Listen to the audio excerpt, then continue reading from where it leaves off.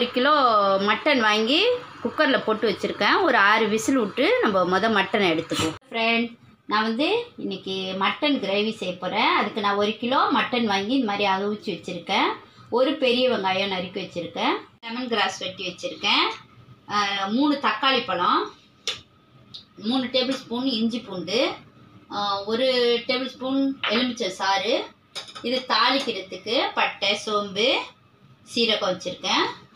அப்புறம் இது வந்து எரிச்சி கறி மட்டன் கறி பவுட்ரு. அது நான் தண்ணி ஊற்றி கரைச்சி வச்சுருக்கேன். கொஞ்சம் நெய் தேவையான அளவு எண்ணெய் தயிர். அவ்வளோதான் செய்முறை. தேவையான அளவுக்கு எண்ணெய் சேர்த்துக்குவோம்.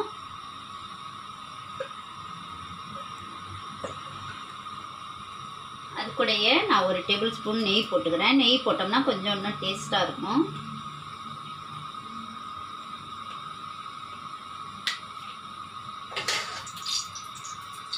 இப்போ நம்ம தாளிக்கிறதுக்கு இந்த பட்டை கிராம்பு பூலாம் போட்டுக்குவோம். அது கூடயே இந்த சோம்பும் சீரகமும் போட்டுக்குவோம்.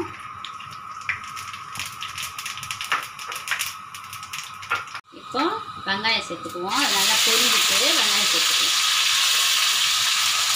அது கூடயே இந்த பச்சை மிளகாவும் சேர்த்துக்குவோம். அப்புறம் இந்த லெமன் சேர்த்துக்குவோம்.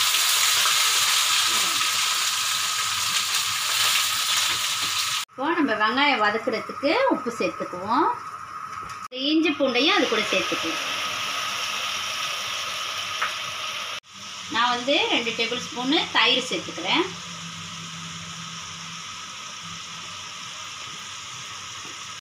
இப்போ நம்ம இது கூட தக்காளியும் சேர்த்துக்குவோம்.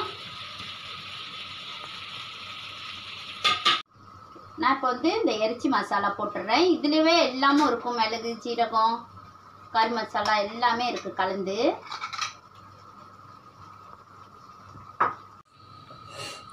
இப்போ நம்ம வந்து இந்த இறைச்சியும் அதில் சேர்த்துருவோம்.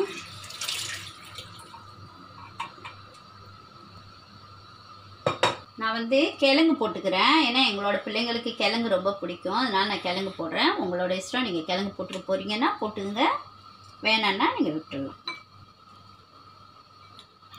இப்போ உப்பெல்லாம் பார்த்துருவோம் பார்த்துட்டு மூடி போட்டு வச்சுருவோம்.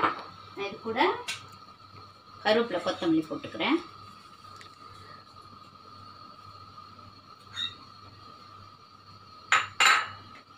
இந்த லெமன் ஜூஸையும் நம்ம ஊற்றிடுவோம்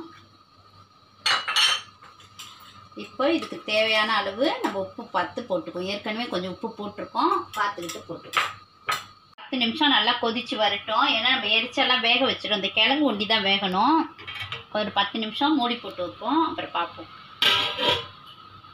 மட்டன் கிரேவி ரெடி ஆகிட்டு பாருங்கள் இப்போ நம்ம பிளேட்டிங் பண்ணிக்குவோம். நான் மட்டன் கிரேவி செஞ்சுருக்கேன். வந்து கோழி பிரியாணி செஞ்சேன். வெள்ளரிக்காய் பச்சடி முட்டை ரெடி ஆகிட்டு நம்ம சாப்பாடு.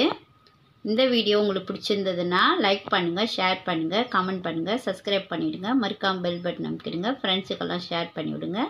வாங்க லஞ்சு சாப்பிட்லாம்.